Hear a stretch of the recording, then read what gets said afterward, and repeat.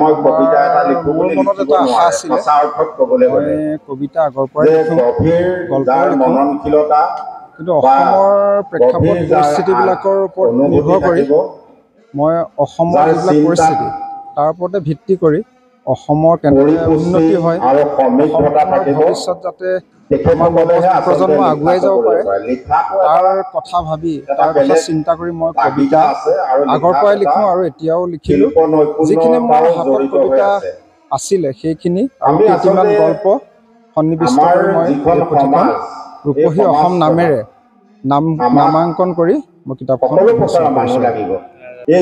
আমাৰ বাঁহ ভগা থান বুলি ক'লে আজলীয়া থান বুলি ক'লে আমাৰ মাজুলীতে জনপ্ৰিয় নহয়।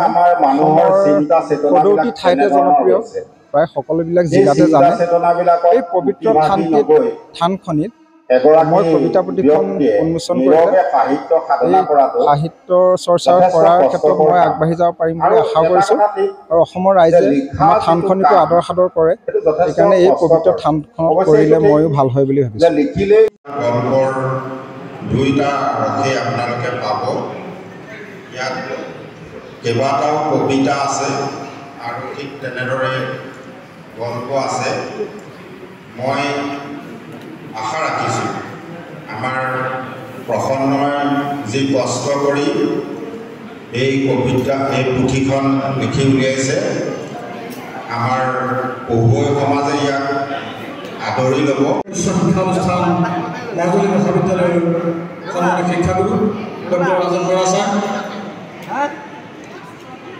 মঞ্চত উপবিষ্ট বিশিষ্ট শিক্ষাবিদ বিনোদ দাস ডাঙৰীয়া অৱসৰপ্ৰাপ্ত প্ৰধান শিক্ষয়িত্ৰী বিদ্যাপ্ৰভা দাস বাইদেউ।